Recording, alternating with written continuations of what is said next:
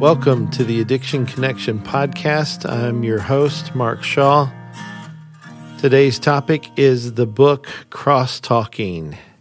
Cross Talking is a book that I wrote, and I really love this book. I guess that shouldn't be a surprise, right? You know, some of the things you write, or I write, sometimes I'm not exactly uh, thrilled with them. I mean, you can always look back and say, man, I wish I'd said this or added this or deleted this or said this differently. You know, uh, I've heard that with painters that when they do a painting, uh, they they finish it and it's never really finished. They always look at it and think about more color they could have added or changes they could have made to enhance it, or they get better at their craft and wish they had done it a little differently.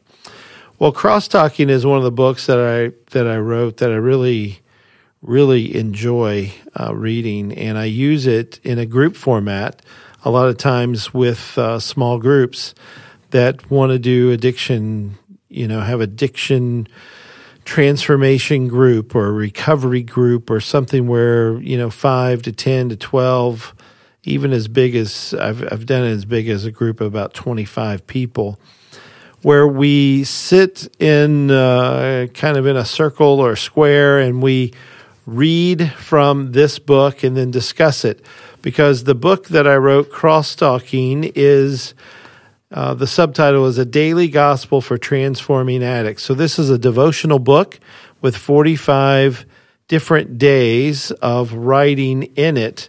And uh, for example, day one says addiction's biblical name, and it's part one of two of these. But it starts with scripture. The scripture in this one is says, they serve their idols, which became a snare to them. That's Psalm 106, 36.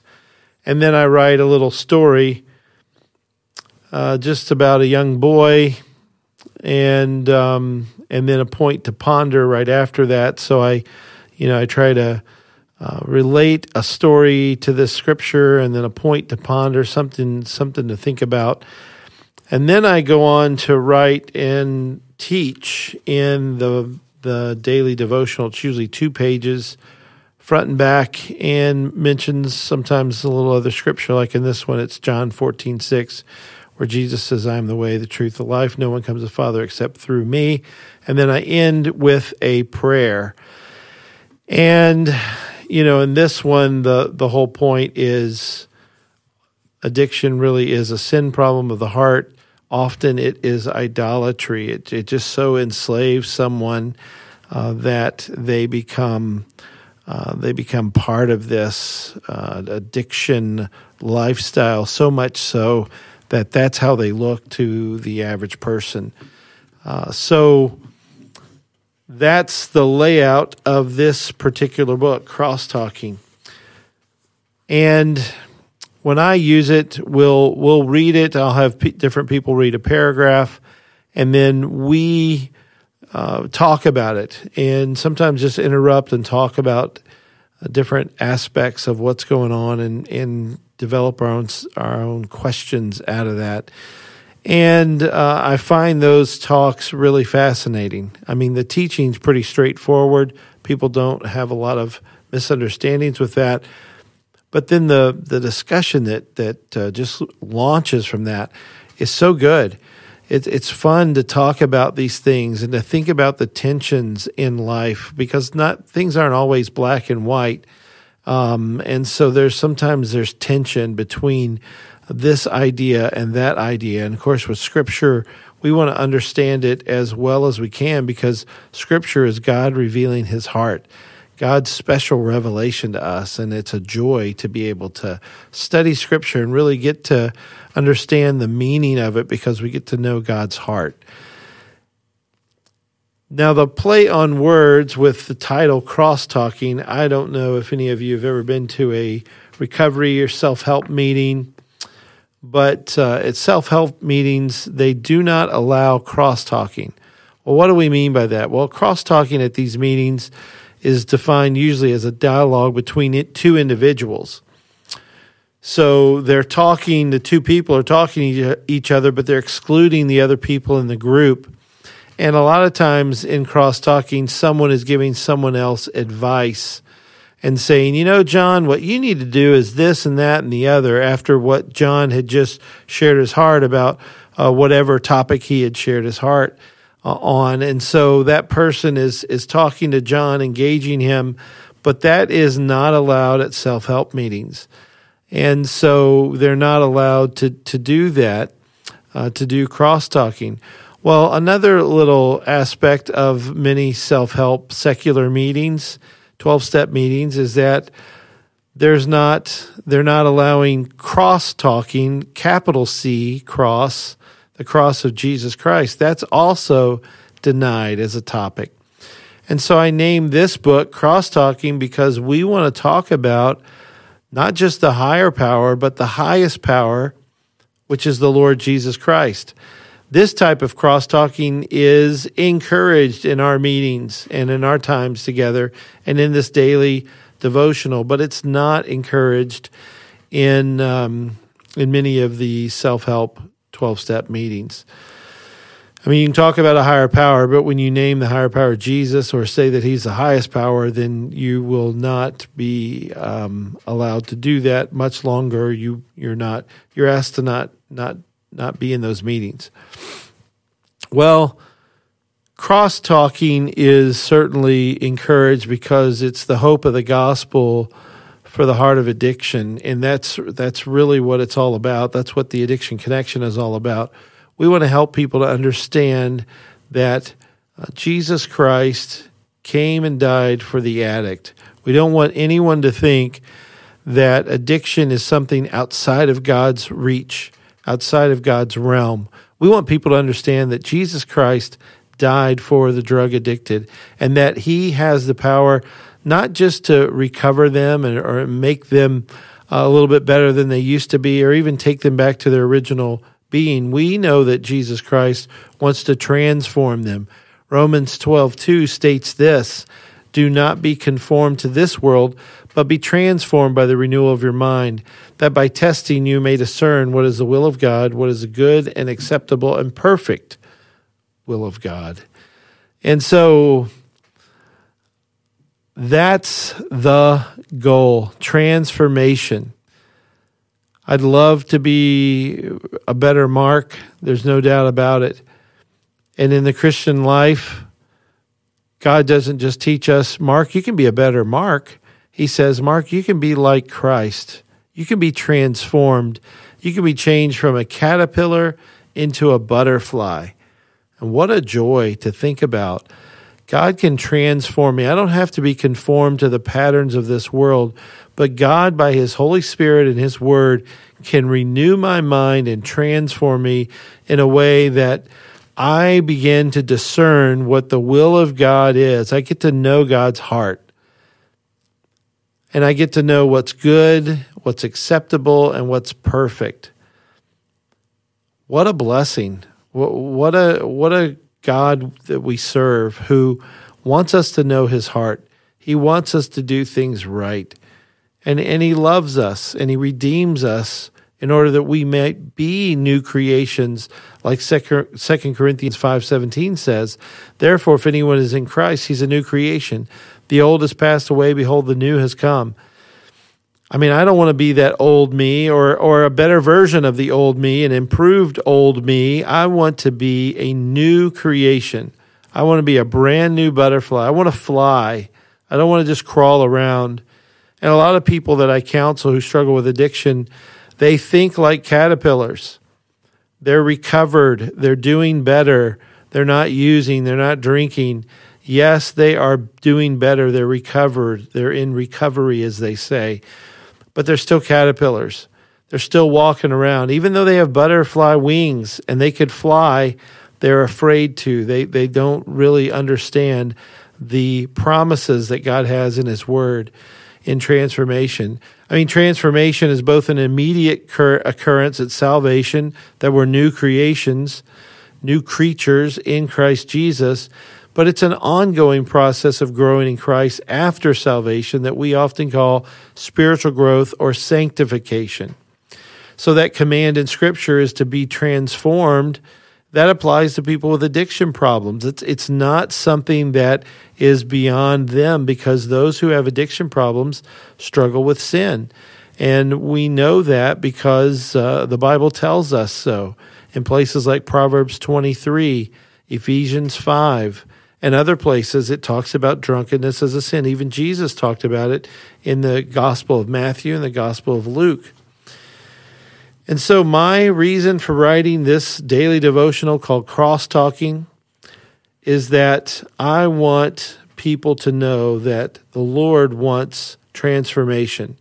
Yes, He is all about saving people, helping people to change their behavior, but He's really about changing the heart. Changing the heart at the at the heart level when that happens then the behaviors change as well. And so words like addiction, alcoholism, those words were non existent a few hundred years ago. People saw addiction as a moral problem, a sin issue. And then in the 1930s, really, it got popularized that this idea of alcoholism is a disease. And that was just a theory. Back then, they talked about it as the theory of uh, disease theory, uh, theory of disease. And so now, people commonly accept this as truth, and I put that in quotes because it's not true. It's still just a theory, and yet people talk about it as though it's true. Well, things change very quickly in our culture. And I think the danger of calling this sin a disease is it points people away from the forgiveness of Christ for all sins, even those of drunkenness, even those of idolatry. So I want to point people toward Christ. I want to use his words. I can't call something a disease that God doesn't call disease, but that he holds the person morally accountable, morally responsible for.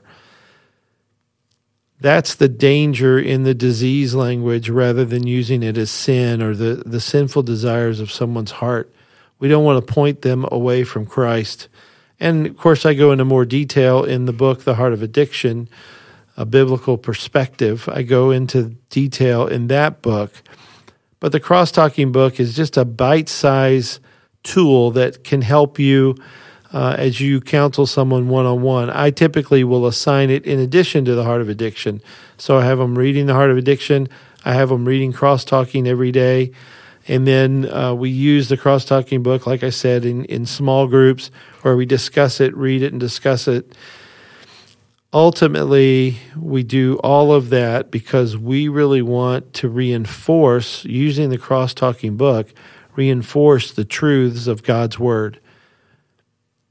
And, you know, recovery is a good word. I say that often that, you know, after surgery, one is placed in recovery for a time of physical healing and improvement. You know, if you have surgery, you're wheeled out of there and you're placed into one of two rooms either the morgue which is not where you want to go, right? Or into that that room, or you go into the recovery room. The recovery room's a good room to be in. That's where we want to go. Well, recovery is the, same thing. Uh, you know, it's a good word. It's the room we want to be in in one sense. We want to be improving and growing. But really, God has a better word, and that word's transformation Change in the likeness and image of Christ, being something totally different than what we were. And I know I look back on my life and I can see that with my testimony. I'm not the person I used to be. Now, that doesn't mean I'm perfect now. My kids, my wife, my family will tell you that, that I'm nowhere near perfect. Haven't been today. Haven't been in the last hour. Not even close to perfect. Yet I'm a new creation spiritually. I'm born again. I'm new. I'm not who I was. I have a new nature. I have new desires within me that help me to live in a way that pleases God. And I want to please God and I want to obey His word, not because His word is burdensome, but because it is bringing freedom in my life. It's helping me to live in a way that's new and different and satisfying. And it's the best way to live. Quite frankly, it is the best way to live. And so God is transforming me. Another place in Scripture is 2 Corinthians 3.18, which says, And we all, with unveiled face, beholding the glory of the Lord, are being transformed in the same image from one degree of glory to another. For this comes from the Lord who is the Spirit. So I want to be transformed into his image. I don't want to be Mark. I don't want to be recovered. You know, and recovered, the, the sense of that too is just putting a new cover on the old thing. Well, that that's good. I mean, I've we've done that with furniture. We put a new cover on it, and it's we've gotten some use out of it, and it's been great. But boy, isn't it nice when you buy that brand new couch when that thing is soft and comfortable and and um, just brand new? Well, that's the promise that God gives us. He doesn't just throw an old throw rug on top of the old couch and you sit down and the springs hit you and it's not comfortable and you, you just you know you know you need a new one but you can't afford it. And, and believe me we have done that. We still do that from time to time with our furniture. Well that's the picture of recovery and, and it's okay. I mean you're you're getting more use out of that old chair out of that old couch. But god has something better. God offers transformation. Brand new creature. And so really the guts the inside of that couch are removed uh, new guts, and I'm just calling it guts because I don't know the right word, but new uh, equipment is put into that couch. It is redone on the inside and on the outside, and it is now comfortable and uh, a very new furniture item. Well, that's what happens with us. God changes us from the inside out. It's not just throwing an, a, a cover on top of us, He's changing our heart. And when that happens, you know, the outward behaviors change as well. God wants to change your heart. He wants to transform you, wants to make you into the image of Christ. And that only works when the Holy Spirit is partnering with the Word of God to renew your mind, to renew your desires to where you want new things. You want what Christ has to offer. So I hope that encourages you today on this podcast. We're talking about the book Crosstalking. It's available through Focus Publishing and Amazon and everywhere else they sell books or bu- biblical books, I should say.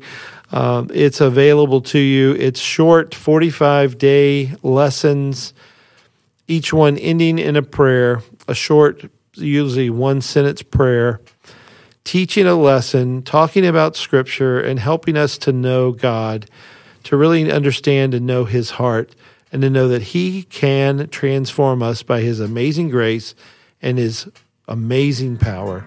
Thanks for listening today. Hope you'll join me next time on the Addiction Connection podcast.